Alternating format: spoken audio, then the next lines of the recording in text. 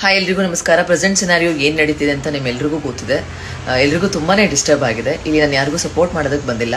ಆ ದೇವರು ರೇಣುಕಾ ಸ್ವಾಮಿಯವರ ಫ್ಯಾಮಿಲಿಗೆ ಆದಷ್ಟು ಶಕ್ತಿ ಕೊಡ್ಲಿ. ಆದರೆ ರೇಣುಕಾ ಸ್ವಾಮಿ ಅವ್ರು ಏನಿದ್ದಾರೆ, ಅವರು ಇನ್ನೂ ಒಂದು ಎರಡು ಮೂರು ಜನಕ್ಕೆ ಈ ರೀತಿ ಒಂದು ಮೆಸೇಜ್ ಕಳಿಸಿದ್ರು.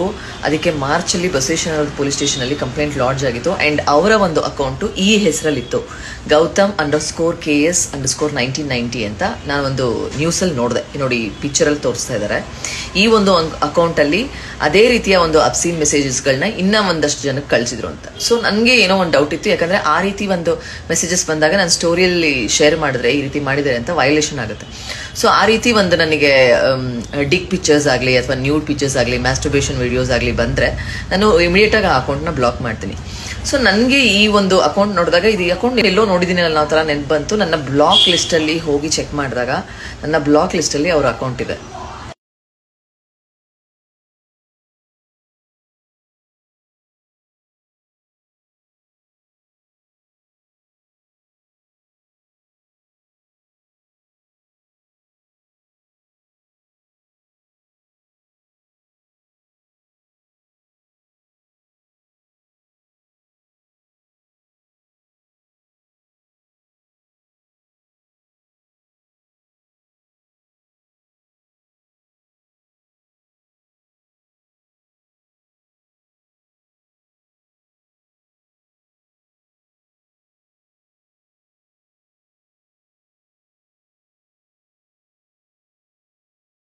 ನೋಡಿ, ನನ್ನ ಪ್ರೀವಿಯಸ್ ಸ್ಟೋರಿ ನೋಡಿದ್ರೆ ನೀವು ನೋಡ್ಬೋದು, ಆ ಅಕೌಂಟ್ ನನ್ನ ಬ್ಲಾಕ್ ಲಿಸ್ಟಲ್ಲಿ ಇದೆ ಆ್ಯಂಡ್ ಇಷ್ಟು ದಿನ ನಾನು ಏನೂ ಶೇರ್ ಮಾಡ್ಕೊಳಕ್ ಬಂದಿಲ್ಲ. ಆ್ಯಂಡ್ ಇದನ್ನ ನಂಗೆ ಶೇರ್ ಮಾಡ್ಕೋಬೇಕು ಅಂತ ಅನಿಸ್ತು. ಯಾಕಂದ್ರೆ ನನಗೆ ನೋಡಿ ಶಾಕ್ ಆಯಿತು.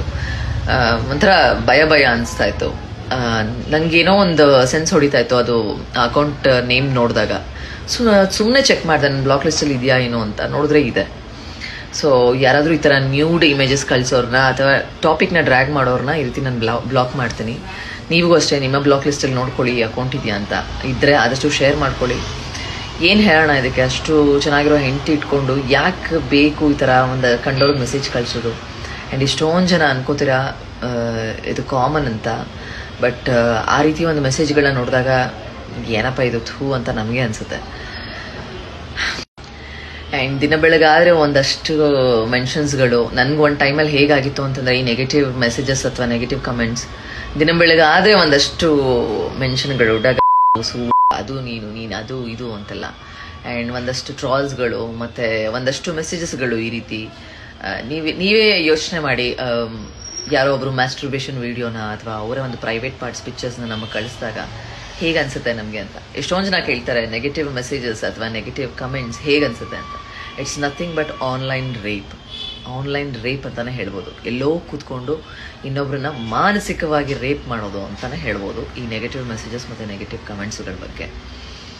ಆ್ಯಂಡ್ ಇನ್ನು ಈ ನಡೀತಿರೋ ಸಿನಾರಿಯೋ ಬಗ್ಗೆ ಯಾರು ತಪ್ಪು ಮಾಡಿದರೆ ಅವ್ರಿಗೆ ಶಿಕ್ಷೆ ಆಗಲಿ. ಆದರೆ ಅವ್ರಗಳ ಬಗ್ಗೆ ನೀವು ಸೋಷಿಯಲ್ ಮೀಡಿಯಾದಲ್ಲಿ ಹಾಕ್ತಿರೋಂಥ ಕಮೆಂಟ್ಗಳಿದೆಯಲ್ಲ ನಿಜವಾಗ್ಲೂ ಚೆನ್ನಾಗಿಲ್ಲ ಅದು. ಯಾರೋ ಒಬ್ರು ಇನ್ನೊಂದು ವ್ಯಕ್ತಿಗೆ ಸೆಕೆಂಡ್ ಆಗಿ ಹೋಗಿದ್ದಾರೆ ಅಂತಂದ್ರೆ, ಅದರ ಅರ್ಥ ಅವರು ಕೆಟ್ಟವರು ಅಂತಲ್ಲ. ಅಂಡ್ ಅವರು ಕೆಟ್ಟವರಾಗಿದ್ರೆ ಹತ್ತು ವರ್ಷ ಇರ್ತಿರಲಿಲ್ಲ. ಅಂಡ್ ಅವ್ರ ನಡುವೆ ಬಾಂಡಿಂಗ್ ಇಲ್ಲ ಅಂದ್ರೆ ಹತ್ತು ವರ್ಷ ಇರ್ತಿರಲಿಲ್ಲ. ಅವ್ರ ಬಗ್ಗೆ ನಾವು ಮಾತಾಡೋಕೆ ಯಾರೂ ಅಲ್ಲ. ನಾನು ಯಾರೂ ಅಲ್ಲ, ನೀವು ಯಾರೂ ಅಲ್ಲ. ಬಿಕಾಸ್ ಈಗ ಏನೇನು ಕಮೆಂಟ್ ಹಾಕ್ತಾ ಇದ್ದೀರಾ ಸೋಷಿಯಲ್ ಮೀಡಿಯಾದಲ್ಲಿ ಕೆಲವು ಹೆಂಗಸರುಗಳು ಮತ್ತೆ ಗಂಡಸರುಗಳು ಎಲ್ಲ ಅವ್ರನ್ನೆಲ್ಲ ಬೈಕೊಂಡು ಹಾಕ್ತಾ ಇದ್ದೀರಾ? ಜಸ್ಟ್ ಥಿಂಕ್ ಮಾಡಿ, ಅವರ ಒಂದು ಮಗಳು ಅಥವಾ ಅವರ ಒಂದು ಮಗ ಆ ರೀತಿಯ ಒಂದು ಕಮೆಂಟ್ಸ್ಗಳನ್ನ ಸ್ಕ್ರಾಲ್ ಮಾಡ್ತಿರ್ಬೇಕಾದ್ರೆ, ಓ, ನಮ್ಮ ತಾಯಿಗೆ ಈ ರೀತಿ ಒಂದು ಕಮೆಂಟ್ ಬಂದಿದೆ ಅಥವಾ ನಮ್ಮ ಡ್ಯಾಡಿಗೆ ಈ ಥರ ಕಮೆಂಟ್ ಬಂದಿದೆ ಅಂದಾಗ, ಆ ಒಂದು ಎಳೆ ಮನಸ್ಸುಗಳಿಗೆ ಯಾವ ರೀತಿ ಬೇಜಾರಾಗುತ್ತೆ ಆ್ಯಂಡ್ ತುಂಬ ಸೆನ್ಸಿಟಿವ್ ಇರ್ತಾರೆ ಅವರು. ಏನೋ ಒಂದು ಮಾಡ್ಕೊಂಡ್ರೆ ಅದಕ್ಕೆಲ್ಲ ನೀವು ಹೊಣೆ ಆಗ್ತೀರಾ ಇಲ್ಲ ಅಲ್ವಾ? ಯಾಕೆ ಇನ್ನೊಬ್ರು ಸುದ್ದಿ ಇವಾಗ್ಲಾದ್ರೂ ಕಮೆಂಟ್ ಮಾಡೋದು ಬಿಡಿ? ಯಾಕೆ? ಈ ವಿಷಯದ ಬಗ್ಗೆನೂ ಅವಳಿಗೆ ಬೈಕೊಂಡು ಕಮೆಂಟ್ ಮಾಡ್ತೀರಾ? ನಿಮ್ಗೆ ಹೇಗೆ ಗೊತ್ತು ಅವಳು ಹೇಗೆ, ಏನು ಅಂತ?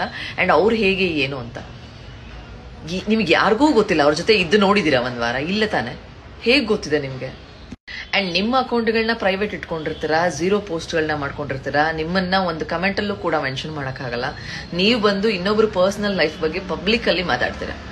ಎಷ್ಟು ಚಂದ ಅದು. ನಿಮಗೆ ಮೆಚುರಿಟಿ ಅಂತ ಅನ್ಸುತ್ತಾ?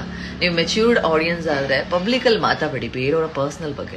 Who are you to judge her news ಚಾನಲ್ಗಳು ಬಿಡ್ರಿ, ತೋರಿಸ್ತಾರೆ. ಅವ್ರಿಗೆ ರೆವೆನ್ಯೂ ಆಗಿ ಕನ್ವರ್ಟ್ ಆಗುತ್ತೆ. ನಿಮ್ಗೇನು ಸಿಗುತ್ತೆ ಕಮೆಂಟಲ್ಲಿ ಮಾತಾಡೋದ್ರಿಂದ? ಅವಳು ಹಿಂಗೆ ಹಿಂಗ್ ಮನೆಗೆ ಬಂದು ಹಾಳು ಮಾಡಿದ್ಲು ಅವಳು? ಅವಳು ಈ ಥರ ಈ ತರ. ನೀವು ಹೆಂಗ್ ಡಿಸೈಡ್ ಮಾಡ್ತೀರಾ? ಸೆಕೆಂಡ್ ಅನ್ನೋ ರೀಸನ್ಗೆ ಅವಳು ಕೆಟ್ಟವಳು ಅಂತ ಹೆಂಗ್ ಡಿಸೈಡ್ ಮಾಡ್ತೀರಾ? ಫಸ್ಟ್ ಆಫ್ ಆಲ್ ಅದನ್ನ ಹೇಳಿ. ನಿಮ್ಗೆ ಅವರು ದರ್ಶನ್ ಸರ್ ಬಂದು ಹೇಳಿದಾರ? ಇವಳು ಬಂದು ನನ್ನ ಲೈಫ್ ಹಾಳು ಮಾಡಿದ್ಲು, ಹಂಗೆ ಹಿಂಗೆ ಅಂತ. ಬೇರೆಯವ್ರಿಗೆ ಏನೋ ಒಂದು ಪರ್ಸನಲ್ ಮ್ಯಾಟರ್ನ ಅಷ್ಟು ಚೆನ್ನಾಗಿ ಕಮೆಂಟ್ ಸೆಕ್ಷನಲ್ಲಿ ಡಿಬೇಟ್ ಮಾಡ್ತೀರಾ ಅಂದ್ರೆ, ಏನ್ ನಿಮ್ದು ಕಮೆಂಟ್ ಮಾಡದೇ ಕೆಲಸನ? ಅಥವಾ ಕಮೆಂಟ್ ಮಾಡದೆ ಕಾಯಕನ? ಇನ್ನೊಬ್ರು ಪರ್ಸನಲ್ ಬಗ್ಗೆ ಮಾತಾಡದೆ ಕಾಯಕನ? ಏನ್ ನಿಮ್ಮ ನಿಮ್ ಪರ್ಸನಲ್ ಅವ್ರ ಪರ್ಸನಲ್ ಬಗ್ಗೆ ನೀವು ತಿಳ್ಕೊಂಡು? ನಿಮ್ಮ ಪರ್ಸನಲ್ ಎಷ್ಟೊಂದು ಇರುತ್ತೆ ರೀ? ನಿಮ್ಮ ಪರ್ಸನಲ್ ವಿಷಯಗಳನ್ನ ತಿಳ್ಕೊಂಡವ್ರು ಯಾರೋ ಒಬ್ಬರು ನಿಮ್ಮ ಫ್ರೆಂಡು ಪಬ್ಲಿಕ್ ಅಲ್ಲಿ ಅದನ್ನ ಕಮೆಂಟ್ ಅಲ್ಲಿ ಹಾಕ್ಬಿಟ್ರೆ ಹೆಂಗಿರುತ್ತೆ? ನಿಮ್ಮೆಲ್ರಿಗೂ ಗೊತ್ತಿರೋ ತರ ನಾನು ಈಸಿಯಾಗಿ ಯಾರನ್ನೂ ಬ್ಲಾಕ್ ಮಾಡಲ್ಲ. ಲೈಕ್ ಅವ್ರನ್ನ ಸ್ಟೋರಿಯಲ್ಲಿ ಎಕ್ಸ್ಪೋಸ್ ಮಾಡ್ತೀನಿ. ಇಲ್ಲ, ಅವರೇ ಒಂದು ಸಾರಿ ಕೇಳೋ ತರ ಮಾಡಿರ್ತೀನಿ. ಸ್ಟೋರಿಯಲ್ಲಿ ಹಾಕೊಂಡು ರುಬ್ಬಿರ್ತೀನಿ. ಏನೋ ಒಂದು ಮಾಡಿರ್ತೀನಿ. ಬಟ್ ಅದು ಅಕೌಂಟ್ ಬ್ಲಾಕ್ ಮಾಡಿದ್ದೀನಿ ಅಂತಂದ್ರೆ ಡೆಫಿನೆಟ್ಲಿ ನನಗೆ ಇರಿಟೇಟ್ ಆಗ್ಬಿಟ್ಟು ಬ್ಲಾಕ್ ಮಾಡಿರ್ತೀನಿ. ಡೆಫಿನೆಟ್ಲಿ ಆ್ಯಂಡ್ ಈ ರೀತಿ ಒಂದು ನ್ಯೂಡಿಟಿ ಕಳಿಸಿದಾಗ ಬ್ಲಾಕ್ ಮಾಡಿರ್ತೀನಿ. ಅದನ್ನು ಅವ್ರು ಸ್ಟಾಪ್ ಮಾಡದೇ ಇದ್ದಾಗ ಕಂಟಿನ್ಯೂಸ್ ಆಗಿ ಕಳಿಸಿದಾಗ ಬ್ಲಾಕ್ ಮಾಡಿರ್ತೀನಿ. ಸೊ ಬಟ್ ನಂಗೆ ನೆನಪಾಗ್ತಿಲ್ಲ ಏನು ಬಂದಿತ್ತು ಆ ಅಕೌಂಟಿಂದ ಮೆಸೇಜಸ್ ಹತ್ರ. ಯಾವತ್ತು ಬ್ಲಾಕ್ ಮಾಡಿದ್ದೀನಿ ಅನ್ನೋದು ನೆನಪಾಗ್ತಿಲ್ಲ. ಇನ್ನು ಸ್ಟೋರಿಯಲ್ಲಿ ನಾನು ಚೆಕ್ ಮಾಡಿದೆ. ಸ್ಟೋರಿ ಹೈಲೈಟ್ಸಲ್ಲಿ ಏನಾದರೂ ಹಾಕಿದ್ದೀನಿ ಈ ಅಕೌಂಟ್ ಬಗ್ಗೆ ಅಂತಂದ್ಬಿಟ್ಟು. ಎಲ್ಲೂ ಸಿಕ್ಕಿಲ್ಲ ನನಗೆ. ಸೊ ಹಾಕಿಲ್ಲ ಅಂತಂದರೆ ಡೆಫಿನೆಟ್ ಆಗಿ ನ್ಯೂಡಿಟಿನೇ ಇರುತ್ತೆ.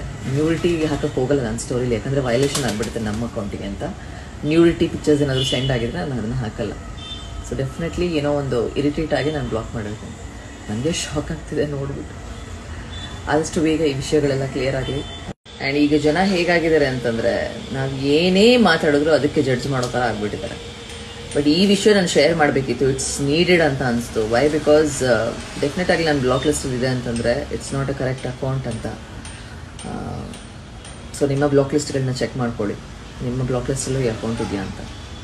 And I wish cyber crime ಅವರು ಇಂಟ್ರೆಸ್ಟ್ ತೊಗೊಂಡು ಈ ಒಂದು ಅವರ ಒಂದು ಜಿಮೇಲ್ ಐ ಡಿಯಿಂದ ಎಷ್ಟು ಅಕೌಂಟ್ ಕ್ರಿಯೇಟ್ ಆಗಿತ್ತು.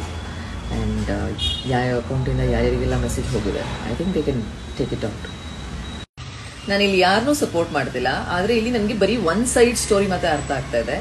ಆ್ಯಂಡ್ ನನ್ನ ಬ್ಲಾಕ್ ಲಿಸ್ಟಲ್ಲೂ ಕೂಡ ಆ ಒಂದು ಅಕೌಂಟ್ ಇದೆ. ಸೊ ಇವಾಗ ನನಗೆ ಶಾಕ್ ಆಗ್ತಿದೆ. ಇನ್ನು ಯಾರಿಗೆ, ಯಾರ್ಯಾರು ಬ್ಲಾಕ್ ಲಿಸ್ಟಲ್ಲಿ ಅಕೌಂಟ್ ಇದೆ ಅಂತ. ಇಟ್ಸ್ ವೆರಿ ಸಿಂಪಲ್ ಇಲ್ಲ, ಅವ್ರ ಫೋನ್ ಇದ್ರೆ ಅವರು ಎಷ್ಟು ಅಕೌಂಟ್ಗಳನ್ನ ಕ್ರಿಯೇಟ್ ಮಾಡಿ, ಯಾರ್ಯಾರಿಗೆ ಏನೇನು ಸೆಂಡ್ ಮಾಡಿದ್ದಾರೆ ಅದನ್ನ ಚೆಕ್ ಮಾಡ್ಬೋದು. ಬೈ ಚಾನ್ಸ್ ಫೋನ್ ಏನಾದರೂ ನಾಶ ಆಗಿದ್ರೆ ಅವರ ಒಂದು ಗೂಗಲ್ ಎವಿಡೆನ್ಸ್ ಇಂದ ಎಷ್ಟು ಇನ್ಸ್ಟಾಗ್ರಾಮ್ ಅಕೌಂಟ್ಸ್ ಇದೆ, ಅವರ ಒಂದು ಜಿಮೇಲ್ ಐ ಡಿಯಿಂದ ಲಾಗಿನ್ ಆಗಿದೆ ಅಂಡ್ ಯಾರ್ಯಾರಿಗೆಲ್ಲ ಮೆಸೇಜ್ ಸೆಂಡ್ ಮಾಡಿದ್ದಾರೆ ಅಂಡ್ ಆ ಮೆಸೇಜಸ್ ಮೆಸೇಜಸ್ಗಳನ್ನ ಕೂಡ ರಿಕವರ್ ಮಾಡ್ಬೋದು. ಸೊ ಈ ಒಂದು ಕೆಲಸ ಯಾಕೆ ಆಗ್ತಿಲ್ಲ, ಆ- ಆ ಮೆಸೇಜಸ್ಗಳು ಮತ್ತೆ ಅವರು ಎಷ್ಟು ಜನಕ್ಕೆ ಮೆಸೇಜ್ ಕಳಿಸಿದ್ರು, ಯಾವ ರೀತಿಯ ಮೆಸೇಜ್ ಕಳಿಸಿದ್ರು ಅನ್ನೋದು ಆಚೆ ಬಂದ್ರೆ ಇಟ್ಸ್ ಈಸಿ ಟು ಡಿಸೈಡ್ ಅಲ್ವಾ? ಇದ್ಯಾಕೆ ಆಚೆ ಬರ್ತಿಲ್ಲ ಅನ್ನೋದೇ ನನ್ನ ನನ್ನ ಪ್ರಶ್ನೆ. ಇದು ಇನ್ನೊಂದು ಸೈಡ್ ಸ್ಟೋರಿನೂ ತುಂಬಾನೇ ಡೀಪ್ ಆಗಿ ಡಿಗ್ ಆಗಿ ಆಚೆ ಬರಬೇಕು ಅನ್ನೋದು ನನ್ನ ಇದು.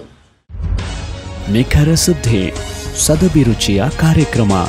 ನೀವು ನೋಡ್ತಾ ಇದ್ದೀರಾ ಕಹಳೆ ನ್ಯೂಸ್ ಸಮಾಜದ ಜಾಗೃತಿಗಾಗಿ ವಸ್ತುನಿಷ್ಠ ವರದಿ.